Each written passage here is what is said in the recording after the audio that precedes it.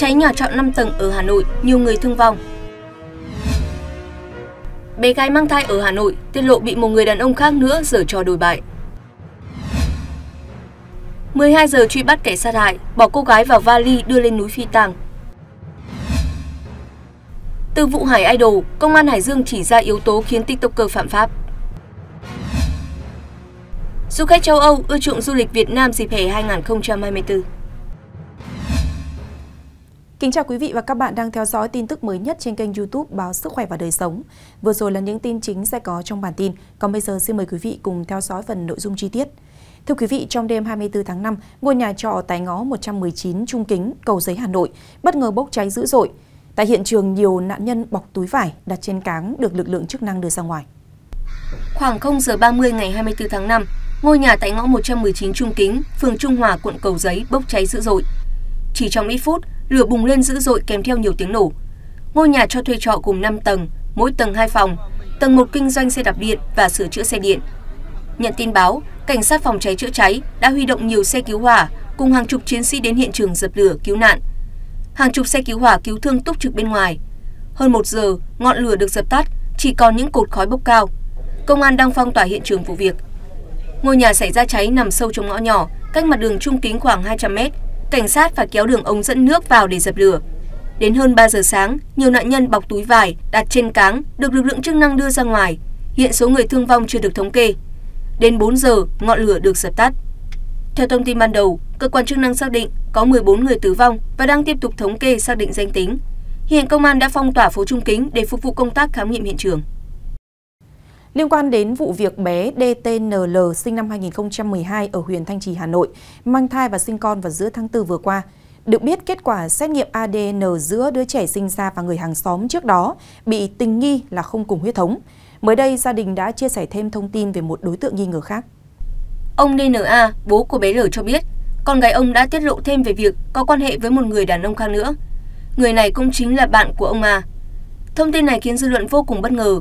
Mọi người đều hy vọng cơ quan chức năng sớm tìm ra đối tượng đã giở trò đồi bại với cháu L. Trước đó vào giữa tháng 4, dư luận xôn xao trường hợp cháu L bị giở trò đồi bại dẫn đến mang thai. Thời điểm đó, gia đình nghi đối tượng làm cháu bé mang thai chính là người hàng xóm thân thiết, nhà ngay kế bên. Ngày 17 tháng 4, L đã sinh một bé trai nặng 3 kg tại Bệnh viện Phụ sản Hà Nội. Được biết, gia đình L có hoàn cảnh khó khăn, mẹ bỏ đi từ khi L còn nhỏ, một mình bố nuôi hai anh em ăn học. Hiện cơ quan chức năng vẫn đang tiếp tục điều tra, làm rõ sự việc. Vừa qua, vụ một cô gái bị sát hại bỏ vào vali đưa lên núi Phi Tang đã gây xôn xao dư luận bởi tính chất của vụ việc. Ngày 24 tháng 5, cơ quan cảnh sát điều tra công an tỉnh Bà Rịa Vũng Tàu tạm giữ hai nghi phạm là Võ Thành Long, 20 tuổi, chú xã Tam Phước, huyện Long Điền và Vũ Thành Huy, 25 tuổi, chú xã Hòa Long, thành phố Bà Rịa để điều tra làm rõ. Chỉ sau 12 giờ, lực lượng chức năng đã thành công tìm thấy nghi phạm của vụ án nghiêm trọng này. Trước đó chiều ngày 22 tháng 5, Phòng Cảnh sát hình sự Công an tỉnh Bà Rịa Vũng Tàu nhận được yêu cầu của Công an huyện Cần Giờ, thành phố Hồ Chí Minh về việc phối hợp để xác minh trường hợp một cô gái mất tích. Người mất tích là chị T, 21 tuổi, trú tại huyện Cần Giờ, thành phố Hồ Chí Minh. Vào cuộc điều tra, Công an tỉnh Bà Rịa Vũng Tàu xác định chị T từ Cần Giờ đến thành phố Vũng Tàu đi chơi với hai nam thanh niên. Ngày 19 tháng 5, chị T lưu trú tại một khách sạn ở phường 2, thành phố Vũng Tàu, cùng một trong hai thanh niên này. Sau đó, chị T mất tích, nghi do bị sát hại. Qua giả soát địa bàn, công an xác định nghi phạm là Võ Thành Long, nam thanh niên ở cùng chị T tại khách sạn. Người còn lại là một đối tượng không rõ lai lịch. Bằng các biện pháp nghiệp vụ, khoảng 3 giờ sáng ngày 23 tháng 5, các trinh sát phòng cảnh sát hình sự, công an tỉnh Bà Rịa Vũng Tàu đã bắt giữ được Long khi y đang lẩn trốn tại quận Bình Tân, thành phố Hồ Chí Minh sau 12 giờ gây án. Qua khai thác nhanh, nghi phạm Long thừa nhận đã sát hại chị T để chiếm đoạt tài sản, rồi cùng bạn là Vũ Thành Huy lên kế hoạch phi tăng nạn nhân tại khu vực núi ở thành phố Vũng Tàu. Từ lời khai của Long, Huy nhanh chóng bị bắt giữ.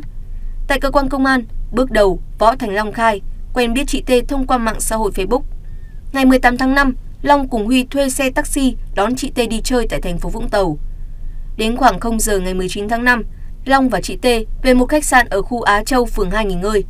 Tại đây, khi phát hiện chị T mang theo nhiều tài sản và trang sức có giá trị, Long nảy sinh ý định sát hại để chiếm đoạt. Long đã sát hại chị T. Tiếp đó, Long nhắn tin báo cho Huy biết sự việc để bàn bạc chuyện phi tăng nạn nhân. Sáng cùng ngày, Long đi mua vali rồi cùng Huy đặt chị T vào trong, mang lên bỏ tại khu đất trống ở núi nhỏ thành phố Vũng Tàu. Cả hai đã mang số tài sản lấy được của nạn nhân đi bán, lấy tiền tiêu xài cá nhân. Riêng chiếc điện thoại iPhone 12 Pro Max của chị T, đối tượng Huy giữ trong người cho đến khi bị bắt. Mới đây một vòi rồng cao hàng trăm mét từ ngoài khơi di chuyển vào bờ biển, đánh chìm một tàu và một số ghe nhỏ của người dân xã Vạn Hưng, huyện Vạn Ninh, tỉnh Khánh Hòa. Nhớ lại vụ việc, nhiều người dân vẫn chưa khỏi hoảng sợ. Sáng ngày 23 tháng 5, lòng biển tại thôn Hà Già, xã Vạn Hưng, huyện Vạn Ninh, tỉnh Khánh Hòa, yên bình trở lại sau khi vòi rồng đã tan. Người dân trong vùng tiếp tục công việc thường ngày, say thức ăn và chăm nuôi tôm hùm. Chị Thúy Diễm, 43 tuổi, người dân thôn Hà Già, đã chứng kiến và quay lại cảnh vòi rồng cao hàng trăm mét đánh úp ghe tàu trên biển. Chị Diễm nhớ lại, khoảng 15 giờ 40 phút ngày 22 tháng 5, bầu trời âm u và gió nhẹ. Dưới bãi biển, một nhóm người đang xay ốc, cua làm thức ăn cho tôm hùm, thì phát hiện một vòi rồng cao hàng trăm mét. Thấy lạ, mọi người nhốn nháo vừa đứng xem vừa quay video. Chị Diễm cho biết, mọi người cứ nghĩ nó tan như mọi lần. Nào ngờ, vòi rồng từ từ di chuyển vào bờ, đánh lật úp chiếc ghe lớn. Sau đó, tiếp tục quần thảo làm hư ba chiếc ghe nhỏ sát bờ rồi mới tan hẳn. Theo chị Diễm, nhiều người vô tư đứng quay video vì nghĩ vòi rồng sẽ không vào bờ. Tuy nhiên, sau khi chứng kiến chiếc ghe lớn bị đánh úp, người dân mới hoảng loạn bỏ chạy. Sau khi vòi rồng tan, tại thôn Hà Già xuất hiện một cơn mưa khá lớn, kéo dài khoảng nửa giờ đồng hồ. Chị Diễm cho biết, trước đây ở xã Vạn Hưng cũng từng xảy ra hiện tượng vòi rồng, nhưng chỉ quần thảo ở ngoài khơi rồi tan. Đây là lần đầu tiên vòi rồng vào sát bờ. Ông Trần Văn Mãn, 54 tuổi, chủ chiếc thuyền bị lật cho biết, hơn 10 năm trước, vợ chồng ông mua chiếc ghe nhỏ về sửa chữa với tổng chi phí khoảng 200 triệu đồng để chở thuê thức ăn cho tôm hùm nuôi. Công việc của ông bắt đầu từ sáng sớm, đến khoảng 11 giờ là nghỉ. Tàu được neo cách bờ khoảng 50 mét. Chiều ngày 22 tháng 5, khi đang ở nhà, ông nhận được tin báo ghe của gia đình bị vòi rồng đánh chìm nên tức tốc chạy về phía biển để cứu tài sản. Sau khi cứu được ghe, ông Mãn kéo vào gần bờ, tát sạch nước biển trong khoang, thay dầu mới để sáng sớm tiếp tục công việc chở thức ăn cho tôm của mình. Theo ông Mãn, qua kiểm đếm, vòi rồng làm hư hỏng mấy tấm pin năng lượng mặt trời, một bình ắc quy, tổng thiệt hại ước khoảng 5 triệu đồng. Ông Trần Trung Thông, Phó Chủ tịch Ủy ban Nhân dân xã Vạn Hưng cho biết, nhận được tin báo của người dân về hiện tượng vòi rồng, lãnh đạo xã đã đến hiện trường để kiểm tra. Theo ông Thông, qua clip thấy vòi rồng xoáy rất mạnh, nhưng may mắn không gây thiệt hại về người. Vụ việc làm ghe ông Mãn lật úp và ba ghe nhỏ bị móc méo đã được người dân chủ động khắc phục. Nối tiếp chương trình sẽ là những tin tức vừa được chúng tôi cập nhật. Mời quý vị tiếp tục theo dõi. Trưa ngày 23 tháng 5, đội cảnh sát giao thông Bình Triệu, phòng cảnh sát giao thông công an thành phố Hồ Chí Minh lập chốt xử lý người điều khiển phương tiện vi phạm tốc độ trên quốc lộ 1, đoạn qua phường An Phú Đông, quận 12 thành phố Hồ Chí Minh. Làn đường này giới hạn tốc độ tối đa là 50 km/h. Sau hơn một giờ làm nhiệm vụ, lực lượng chức năng phát hiện bốn người lái xe máy chạy quá tốc độ quy định. Hầu hết đều cho biết họ không để ý biển báo giới hạn tốc độ. Đáng nói, quá trình tăng nghiệp tại chốt làm việc của cảnh sát giao thông, phóng viên còn ghi nhận được những trường hợp người vi phạm liều lĩnh tăng ga bất chấp nguy hiểm để vượt chốt cảnh sát giao thông. Cụ thể, khi phát hiện nam thanh niên điều khiển xe máy biển kiểm soát 86B3 665XX chạy quá tốc độ, cảnh sát giao thông ra hiệu lệnh dừng phương tiện nhưng người này liều mạng tăng ga, lách qua cán bộ xử lý chạy mất hút. Tương tự, khi thấy cảnh sát giao thông ra hiệu lệnh dừng xe ở phía trước, nam thanh niên điều khiển xe máy biển kiểm soát 49M1 285XX liền tăng tốc để chạy vút qua. Cán bộ xử lý cho biết, các trường hợp vi phạm bị phát hiện nhưng không chấp hành hiệu lệnh kiểm tra của cảnh sát giao thông sẽ bị xử lý thông qua hình thức phản nguội. Theo đó, từ hình ảnh ghi nhận được, cảnh sát giao thông sẽ xác định chủ sở hữu hoặc người điều khiển phương tiện và gửi cho họ thông báo xử lý vi phạm. Những người này khi nhận được thông báo phải đến trụ sở đơn vị cảnh sát giao thông tại nơi cư trú để giải quyết. Mới đây, một vụ va chạm hàng hải giữa tàu với xà lan tại khu vực ngã ba đèn đỏ thuộc phường Cát Lái, thành phố Thủ Đức, thành phố Hồ Chí Minh, làm 9 thùng container rơi xuống sông. Ngày 23 tháng 5, trạm biên phòng cửa khẩu cảng Nhà Rồng, Bộ đội biên phòng thành phố Hồ Chí Minh đang phối hợp với các đơn vị liên quan làm rõ nguyên nhân vụ va chạm hàng hải xảy ra tại ngã ba đèn đỏ. Vụ việc làm 9 thùng container bị rơi xuống sông Nhà Bè, thành phố Hồ Chí Minh. Thông tin ban đầu, khoảng 14 giờ 25 phút cùng ngày, xà lan số hiệu SG 8259 chở theo nhiều thùng container di chuyển từ cầu Phú Mỹ về cảng spitc Khi đến ngã ba đèn đỏ, phường Cát Lái, thành phố Thủ Đức, thì xảy ra va chạm với tàu Intersia Pursuit. Cú va chạm mạnh làm 9 thùng container trên xà lan rơi xuống sông và trôi về khu vực phà Cát Lái. Nhận được tin báo, trạm biên phòng cửa khẩu cảng Nhà Rồng, cảng vụ hàng hải thành phố Hồ Chí Minh, cảnh sát giao thông đường thủy Cát Lái và Cảng vụ Tân Cảng Sài Gòn nhanh chóng có mặt xử lý hiện trường, điều tiết giao thông, điều tra nguyên nhân vụ việc. Liên quan đến vụ hai vườn sầu riêng trị giá hàng trăm triệu đồng của người dân bị kẻ gian dùng thuốc trừ cỏ đầu độc và cắt trái, cơ quan công an tại Đắk Lắk đang điều tra vụ việc. Theo đó, vào ngày 21 tháng 5, bà Phạm Thị Lợi, sinh năm 1968, ngụ tại xã Hòa Tiến, huyện Crong Park, phát hiện hàng loạt trái sầu riêng to bằng nắm tay trong vườn bị cháy thuốc, bắt đầu rụng hàng loạt, mùi thuốc trừ cỏ bốc lên nồng nặc. Đến chiều ngày 23 tháng 5, vườn sầu riêng có 28 cây thì 27 cây sầu riêng bị phun thuốc trừ cỏ gây cháy trái, cháy lá và rụng dần. Theo bà Lợi, có thể kẻ gian đã trộn thuốc trừ cỏ vào để phun lên những trái sầu riêng đang phát triển nhằm phá hoại. Một số cây lâu năm, thân cao, kẻ gian phun không tới nên chỉ bị rụng trái ở phần thân trước. Ước tính sơ bộ thiệt hại hơn 300 triệu đồng. Trước đó sáng ngày 21 tháng 5, gia đình anh Lương Văn Đức, sinh năm 1983, ngụ tại thôn 8, xã Ea Hu, huyện Cư Cụ In, phát hiện nhiều cây sầu riêng của gia đình bị cắt trái non. Qua kiểm đếm, có 54 cây sầu riêng bị kẻ gian cắt hơn 1.600 trái, thiệt hại ước tính khoảng 500 triệu đồng. Công an hai huyện Krông Park và huyện Cư Cụ In đang khẩn trương điều tra làm rõ vụ việc. Chiều ngày 23 tháng 5, Cục Cảnh sát Giao thông Bộ Công an cho biết, sau 140 ngày đấu giá trực tuyến biển số ô tô tính tới ngày 25 tháng 3, tổng số biển ô tô đã đưa ra đấu giá là 691.272 biển số. Tổng số biển ô tô có khách hàng đăng ký đấu giá là 24.064 biển. Tổng số biển đấu giá thành công là 23.940 biển. Tổng giá trị tài sản được đấu giá thành công là gần 2.700 tỷ đồng. Theo Cục Cảnh sát Giao thông, tính đến ngày 23 tháng 5, tổng số tiền trùng đấu giá đã thu được để nộp ngân sách nhà nước là hơn 2.175 tỷ đồng. Sáng cùng ngày, Bộ Công an vừa phê duyệt kế hoạch đấu giá biển số ô tô phiên đấu giá lần thứ tư với tổng số 339.780 biển số.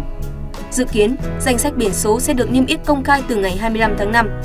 Theo kế hoạch được phê duyệt, giá khởi điểm của một biển số ô tô đưa ra đấu giá là 40 triệu đồng. Tiền đặt trước bằng giá khởi điểm của một biển số, bước giá là 5 triệu đồng. Trong phiên đấu giá thứ tư này, công ty đấu giá hợp danh Việt Nam tiếp tục là đơn vị tổ chức đấu giá tài sản theo lựa chọn của Bộ Công an. Cũng theo Cục Cảnh sát Giao thông, với mỗi biển số ô tô đấu giá thành công, thù lao dịch vụ đấu giá thanh toán cho tổ chức đấu giá tài sản được tính bằng 8% giá khởi điểm.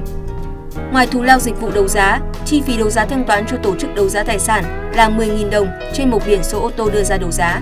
Trong thời hạn 15 ngày kể từ ngày có thông báo kết quả đấu giá, người trùng đấu giá phải nộp toàn bộ số tiền trùng đấu giá sau khi đã trừ số tiền đặt trước vào tài khoản chuyên thu số 1410 1234 5678 của Bộ Công an mở tại ngân hàng Agribank chi nhánh Mỹ Đình. Tiền trùng đấu giá sẽ không bao gồm lệ phí đăng ký xe. Cục Cảnh sát Giao thông thông tin thêm, các cuộc đấu giá biển số ô tô sẽ được quản lý, giám sát bởi Cục Cảnh sát Giao thông. Đơn vị được giao kiểm tra, giám sát an ninh, an toàn thông tin, đảm bảo an ninh mạng, chống xâm nhập trong quá trình đấu giá là Cục An ninh mạng và Phòng chống tội phạm sử dụng công nghệ cao, Cục Viễn thông và Cơ yếu, Cục Công nghệ thông tin, Cục Kỹ thuật nghiệp vụ Bộ Công an. Thời gian gần đây, một số người dân, đặc biệt là giới trẻ đã có những suy nghĩ sai lệch, thiếu hiểu biết, dẫn đến hành động vi phạm pháp luật, gây nhiều hệ lụy cho xã hội, ảnh hưởng xấu đến cộng đồng. Từ nhân vật có hàng triệu người theo dõi trên mạng xã hội, Hải Idol đã lạm dụng, gian dựng sự việc để câu like dẫn đến vi phạm pháp luật. Mới đây, người dân bức xúc trước hành vi một tiktoker giàn dựng việc dừng đỗ đoàn xe rước dâu giữa đường tại huyện Gia Lộc, tỉnh Hải Dương, rồi đăng phát trực tiếp lên mạng xã hội. Công an địa phương đã nhanh chóng vào cuộc. Phạm Đức Hải, tức Hải Idol, sinh năm 1996, trú tại huyện Gia Lộc, tỉnh Hải Dương, cùng ba đối tượng khác đã bị khởi tố, bắt tạm giam để điều tra về tội gây dối trật tự công cộng. Quá trình điều tra, Công an huyện Gia Lộc xác định Phạm Đức Hải là người sáng tạo nội dung, sử dụng nhiều tài khoản để bán hàng online trên nền tảng Facebook, TikTok. Người này sở hữu fanpage Hải Idol vượt khó, có 442.000 lượt theo dõi. Tài khoản Facebook Phạm Đức Hải có 92.000 người theo dõi. Tài khoản Facebook Hải Idol vượt khó có 123.000 lượt theo dõi. Kênh TikTok E Limited có 4 triệu 500 nghìn lượt thích. Lợi dụng việc có nhiều sự tương tác trên các nền tảng mạng xã hội, Hải đã nghĩ ra chiêu trò câu view câu like bằng việc dừng đỗ dàn xe sang đón dâu trong đám cưới của một người bạn trên đường để quay video. Hành vi này đã gây mất trật tự, vi phạm luật an toàn giao thông. Sau khi đăng tải lên các kênh, clip của Hải đã gây bức xúc trong dư luận, ảnh hưởng xấu đến cộng đồng. Việc Hải bị khởi tố, bắt tạm giam là một bài học xương máu khi đã coi thường pháp luật. Thượng tá Nguyễn Tuấn Hưng, trưởng công an thành phố Hải Dương, tỉnh Hải Dương nhận định, những người có sức ảnh hưởng trên mạng xã hội vi phạm nguyên tắc cộng đồng, vi phạm pháp luật sẽ gây ảnh hưởng rất xấu đến nhận thức của giới trẻ. Đặc biệt khi nhiều học sinh ở tuổi vị thành niên đang học theo những thần tượng trên mạng xã hội. Do đó, nếu các nhân vật nổi tiếng sản xuất, đăng tải những nội dung tiêu cực, có hại, tác động tới nhận thức của giới trẻ theo hướng sai lệch sẽ để lại hệ lụy cho xã hội. Ông Hưng nhấn mạnh, việc các đối tượng lợi dụng hình ảnh và không gian mạng để làm ra những hành động vi phạm pháp luật sẽ bị xử lý nghiêm minh. Càng nổi tiếng thì các nhân vật đó càng phải tuân thủ pháp luật. Hành vi vi phạm của các idol mạng nếu không bị xử lý sẽ làm ảnh hưởng rất lớn đến nhận thức và công tác giáo dục của giới trẻ, không chỉ riêng ở Hải Dương mà đối với toàn quốc. Liên quan đến các vụ sạt lở cát đỏ ở Phan Thiết, Sở Xây dựng Bình Thuận vừa đề nghị Ủy ban nhân dân tỉnh chỉ đạo các sở ban ngành có phương án di rời người dân trong khu vực bị ảnh hưởng đến nơi an toàn khi có mưa bão để bảo vệ tính mạng. Theo đó, dạng sáng ngày 21 tháng 5, tại khu vực dự án Sentona Villa Mũi Né và dự án thoát nước phía hạ lưu đường tỉnh 706B, cửa ra số 2 và 3, phường Hàm Tiến, thành phố Phan Thiết xảy ra sạt lở cát đỏ. Vụ sạt lở đã gây ách tắc giao thông, chôn vùi nhiều tài sản người dân địa phương và xe cộ qua lại. Qua kiểm tra hiện trạng các khu vực bị sạt lở, Sở Xây dựng tỉnh đã báo cáo Ủy ban nhân dân tỉnh khẩn trương khắc phục hậu quả. Dự báo trong thời gian tới sẽ tiếp tục có mưa lớn kéo dài. Khu vực trên sẽ tiếp tục sạt lở phạm vi rộng, rất phức tạp không lường trước, gây tổn thất đến người và tài sản của nhân dân. Vì vậy, Sở Xây dựng đề nghị Ủy ban nhân dân tỉnh chỉ đạo Ủy ban nhân dân thành phố Phan Thiết có phương án di rời tạm thời người dân trong khu vực bị ảnh hưởng sạt lở đến nơi an toàn khi có mưa bão để bảo vệ tính mạng tài sản. Ủy ban nhân dân thành phố Phan Thiết chủ trì phối hợp với ban quản lý dự án đầu tư xây dựng công trình dân dụng và công nghiệp, các sở ngành liên quan theo dõi tình trạng mưa lũ để có biện pháp khắc phục, gia cố kịp thời, tránh thiệt hại về người, tài sản trong thời gian chưa hoàn thành dự án thoát nước phía hạ lưu đường tỉnh 706B, cửa ra số 2 và 3. Ban quản lý dự án đầu tư xây dựng công trình dân dụng và công nghiệp tỉnh khẩn trương tham mưu Ủy ban nhân dân tỉnh các thủ tục để sớm ban hành lệnh xây dựng công trình khẩn cấp đối với dự án thoát nước phía hạ lưu đường tỉnh 706B, cửa ra số 2 và 3. Thưa quý vị, Việt Nam hiện đang đứng thứ ba trong danh sách những điểm đến châu Á, thu hút du khách châu Âu nhất dựa trên lượt tìm kiếm chỗ ở. Đây là thông tin được nền tảng du lịch kỹ thuật số Agoda công bố vào ngày 23 tháng 5. Cụ thể, theo dữ liệu tìm kiếm từ Agoda trong tháng 4 năm 2024, Malaysia ghi nhận lượng tìm kiếm tăng 89%, Nhật Bản đứng thứ hai với mức tăng trưởng 71% so với năm trước. Riêng Việt Nam đứng thứ ba ghi nhận số lượng tìm kiếm tăng 66% từ du khách châu Âu. Ông Vũ Ngọc Lâm, Giám đốc quốc gia Agoda Việt Nam cho biết, sự tăng trưởng trong lượt tìm kiếm về du lịch Việt Nam năm 2024 so với năm trước thể hiện sức hút ngày càng lớn của Việt Nam đối với khách châu Âu. Đặc biệt, ngày càng có nhiều du khách châu Âu lựa chọn Việt Nam làm điểm đến cho kỳ nghỉ hè. Điển hình, một số nước tại châu Âu có lượng tìm kiếm du lịch Việt Nam nhiều nhất trong tháng 4 năm 2024, có thể kể đến là Pháp, Đức, Anh, Hà Lan và Tây Ban Nha. Trong khi đó, ba điểm đến tại Việt Nam được du khách châu Âu tìm kiếm nhiều nhất là thành phố Hồ Chí Minh, Hội An và Nha Trang, vì mang đến sự kết hợp hoàn hảo giữa nghỉ dưỡng, phiêu lưu và văn hóa. Ba điểm đến này cũng là lựa chọn lý tưởng cho du khách muốn tận hưởng tối đa kỳ nghỉ hè dài ngày ở Việt Nam. Ngoài ra, trong bối cảnh mùa hè châu Âu đang cận kề, những địa điểm du lịch châu Á, trong đó có Việt Nam, không chỉ nằm trong số những điểm đến phổ biến nhất ngoài châu Âu, mà còn chứng kiến sự tăng trưởng mạnh mẽ. Agoda ghi nhận có 52% tăng trưởng trong lượt tìm kiếm nơi lưu trú của du khách châu Âu vào tháng 4 năm 2024 cho hành trình du lịch châu Á vào mùa hè năm nay. Những yếu tố trên cho thấy các điểm đến châu Á có sức hút mạnh mẽ với nhiều du khách với nhu cầu du lịch đa dạng. Du khách châu Âu yêu thích du lịch đến châu Á bởi nơi đây mang lại sự phong phú trong trải nghiệm du lịch, từ nhịp sống sôi động trên đường phố, các di tích lịch sử lâu đời cho đến thiên đường nghỉ dưỡng. Những thông tin này cũng đã khép lại chương trình phát sóng hàng ngày của chúng tôi ngày hôm nay. Cảm ơn các bạn đã quan tâm theo dõi. Kính chào tạm biệt và hẹn gặp lại.